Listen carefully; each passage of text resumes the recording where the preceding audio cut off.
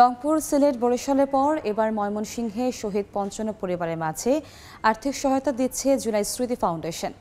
সকালে নগরের টাউন হলের অ্যাডভোকেট তারেক স্মৃতি মিলনায়তনে এই কর্মসূচি শুরু হয়। এতে উপস্থিত আছেন ফাউন্ডেশনের প্রধান নির্বাহী মীর আহসান স্নিগ্ধ ও সাধারণ সম্পাদক সার্জি আলম। পঞ্চান্ন শহীদের প্রত্যেক পরিবারকে হাতে পাঁচ লক্ষ টাকার চেক তুলে দেওয়া হয়। পরবর্তীতে বাকি শহীদদের পরিবারের কাছে সহায়তা পৌঁছে দেওয়া হবে বলে জানানো হয়। প্রাথমিক যাচাই বাছাই শেষে ডিসেম্বরের মধ্যেই আহতদের সহায়তা দেওয়া হবে বলে জানিয়েছেন সার্জিস আলম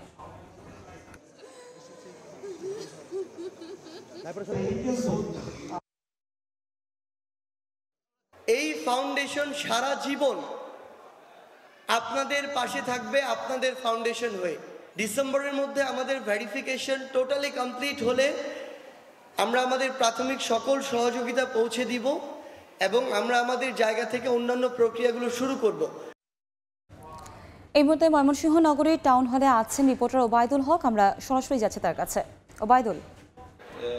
জুলাই শহীদ স্মৃতি ফাউন্ডেশনের উদ্যোগে ময়মনসিংহ বিভাগে যারা শহীদ পরিবার রয়েছে এমন তিরানব্বই জনের নাম তালিকাভুক্ত করা হয়েছে। তার মধ্যে পঞ্চান্ন জন শহীদ পরিবারের সদস্যদের মধ্যে আজকে চেক বিতরণ করা হবে। এই বিতরণ অনুষ্ঠান বেলা এগারোটার দিকে শুরু হয়েছে। এই মুহূর্তে ময়মনসিংহ বিভাগের যে পঞ্চান্ন জন পঞ্চান্ন জনকে আর্থিক সহায়তা প্রদান করা হবে তাদের তাদের পরিবারের সদস্যরা কিন্তু ইতিমধ্যে ময়মনসিংহ নগরের অ্যাডভোকেট তারিক স্মৃতি মিলনায়তনে আহ, তারা এসে হাজির হয়েছেন এবং সকালে দেখেছি তারা এসে প্রথমে তাদের রেজিস্ট্রেশন সম্পন্ন করেছেন এবং এখানে সকালে কিন্তু যারা এসেছেন তাদের মধ্যে এক ধরনের আসলে সে যে কষ্টের ছাপ সেই হতাশার ছাপ প্রিয় সন্তান বা প্রিয় অভিভাবক আহ, কর্মক্ষম ব্যক্তিকে হারিয়ে আসলে তাদের যে নির্ধারণ কষ্ট সেটি কিন্তু ফুটে উঠে উঠেছিল এবং এখানকার যে জুলাই স্মৃতি ফাউন্ডেশনের শহীদ স্মৃতি ফাউন্ডেশনের যে নির্বাহী প্রধান নির্বাহী স্নিগ্ধ এবং সাধারণ সম্পাদক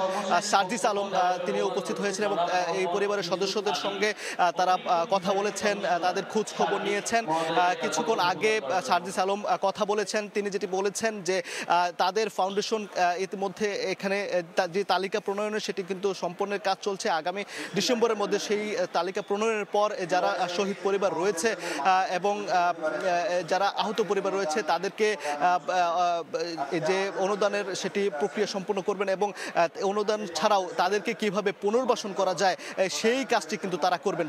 তারা যেটি বলেছেন যে এই যে জুলাই বিপ্লবের যে তাদের যে অর্জন, এই অর্জনকে ব্যর্থ করতে চক্রান্তকারীরা এখনও নানা ধরনের চক্রান্ত করে যাচ্ছে। সেজন্য সবাইকে ঐক্যবদ্ধ থেকে, আসলে ঐক্যবদ্ধ থাকার আহ্বান জানিয়েছেন যেন সেই ধরনের চক্রান্ত নস্বাত হয়ে যায় এবং তারা বলেছেন যে এই যে পুনর্বাসন প্রক্রিয়া সেটি তারা ডিসেম্বর নাগাদ সেটি শুরু করবেন, এমনটি আসলে সার্জিস আলম আমাদেরকে জানিয়েছেন। তো এই ছিল ময়মনসিংহ বিভাগের যে শহীদ পরিবারগুলো রয়েছে, তাদের যে অনুদানের খবরাখবর, আমার কাছে সবশেষ তথ্য।